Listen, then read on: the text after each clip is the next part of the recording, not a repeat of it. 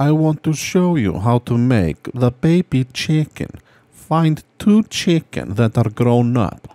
Feed them both woody seed, weed seeds, and they will touch each other, and a baby chicken will appear.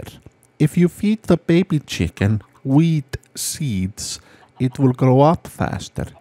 If you want to get more baby chicken, you need to wait five minutes before they can make a new baby chicken.